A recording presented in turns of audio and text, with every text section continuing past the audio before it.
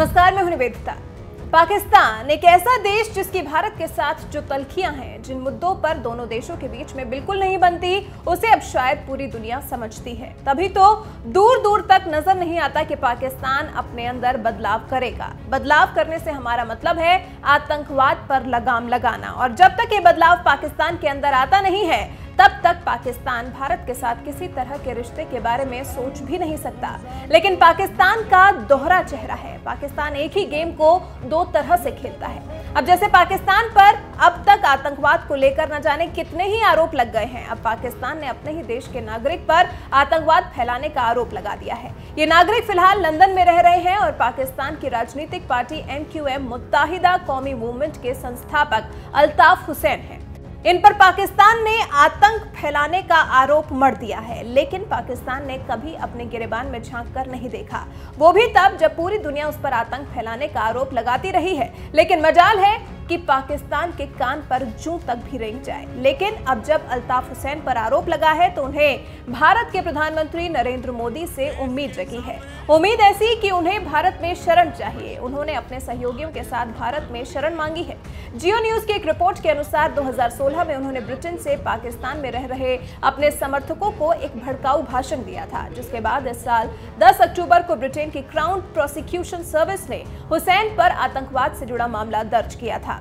जून 2020 में उनके खिलाफ स्टैंड ट्रायल होना है और जमानत शर्तों के तहत ब्रिटेन की पुलिस के पास उनका पासपोर्ट जमा कराया गया है। और फिर अदालत ने अनुमति नहीं मिलने तक उन्हें किसी भी यात्रा दस्तावेज़ के लिए आवेदन करने से भी मना किया है। ऐसे में अल्ताफ पीएम मोदी की शरण में जाना चाहते हैं और कह रहे हैं कि अगर शरण नहीं दे सकते तो कुछ आर्थिक मदद दी जाए, जिससे कि वो अपने मुद्दे को अंतर्राष्ट्रीय न्याय अदालत तक ले जा सके। हालाँकि अगर पीएम मोदी उन्हें भारत में शरण दे देते हैं तो उन्होंने वादा किया है कि वो भारत की राजनीति में बिल्कुल भी दखल नहीं देंगे। पाकिस्तान में उनके घर और उनके कार्यालयों को भी जब्त कर लिया गया है। ऐसे में उनके पास पाक सरकार के खिलाफ भी संघर्ष करने का कोई रास्ता नहीं बचा है। इससे पहले अल्ताफ हुसैन ने अयोध्या पर आए सुप्रीम कोर्ट के डिसीज़न का भी खुले तौर पर स्वागत किया था। सोशल मीडिया पर एक वीडियो जारी कर असदुद्दीन ओवैसी पर भी निशाना साधा था। कहा था कि जिन लोगों को फैसला स्वीकार नहीं है, उन्हें भारत छोड़कर चले जाना चाहिए। मौजूदा हुकूमत, हिंदू हुकूमत, हिंदू राज कायम कर रही है। तो मौजूदा हुकूमत को हिंदू राज कायम करने का उसूली तौर पर हक हासिल है। इसलिए कि जब आपने इस्लाम के नाम पे मुसलमानों का अलहदा वतन बना लिया तो फिर हिंदुस्तान में आपको रहने की कोई ज़रूरत नहीं है। जाइए आप अपने पाकिस्तान।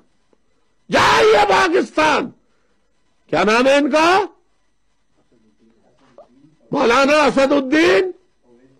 मौलाना असदुद्दीन ओवैसी। जाइए आप पाकिस्तान। आपका मुल्क मुसलमानों का मुल्क पाकिस्तान है। आपने दो कौमी नज़रिए पे दो टुकड़े कर दिए मुल्क के, वतन के। ये पहली बार नहीं है जब अल्ताफ हुसैन ने भारत में शरण लेने का मन बनाया हो। इससे पहले भी वो इस बात को कह चुके हैं कि वो भारत जाना चाहते हैं, क्योंकि उनके दादा दादी वहीं दफन हैं। उन्होंने कहा था कि उनके हज़ारों रिश्तेदारों की कब्रें भारत में ही हैं। अल्ताफ भारत आकर उनकी कब्रों को देखने की इच्छा व्यक्त कर चुके हैं। इसी साल सितंबर में अल्ताफ हुसैन का एक वीडियो वायरल हुआ था, जिसमें वो भारतीय देशभक्ति गीत सारे जहाँ से अच्छा हिंदुस्तान हमारा गाते हुए दिखाई दे रहे हैं। इससे पहले वो अल्ताफ हुसैन ही थे, जिन्होंने नवाज़ शरीफ को पाकिस्तान में पोलोनियम नामक जहर दिए जाने का दावा किया था। साथ ही अपनी एक रिसर्च को भी लोगों के साथ ट्विटर पर साझा किया था। बता दें, साल उन्नीस सौ चौरासी से ही अल्ताफ हुसैन उर्दू भाषी मुहाजिरों के अधिकार की लड़ाई लड़ रहे हैं। मुहाजिर वो शरणार्थी हैं जो आज़ादी के बाद भारत से पाकिस्तान चले गए थे। ये मुल्क की जो बर्बादी है, इसके पीछे वर्दी है। किसकी वर्दी है? फौज की वर्दी है। जो नज़रिया देता है नज़रिए वो वाहिद होता है जो नज़रिए से गद्दारी नहीं कर सकता। साल 2006 में कनाडा के फेडरल कोर्ट ने एमक्यूएम को आतंकी संगठन करार दिया था। अल्ताफ हुसैन के किसी भी बयान को पाकिस्तान में दिखाने की इजाज़त नहीं है। लाहौर कोर्ट ने सितंबर 2015 से ही अल्ताफ की तस्वीर या बयान के प्रसारण पर रोक लगाई हुई है। साल उन्नीस सौ बानवे में पाकिस्तान की तत्कालीन प्रधानमंत्री बेनजीर भुट्टो ने सेना भेजकर कराची में एमक्यूएम और उसके कार्यकर्ताओं का बुरी तरह दमन किया था। उस समय कराची में हज़ारों लोगों की मौत हुई थी, जिसके बाद ही अल्ताफ पाकिस्तान छोड़कर ब्रिटेन चले गए थे। साल 2002 में उन्हें ब्रिटेन की नागरिकता भी मिल गई थी।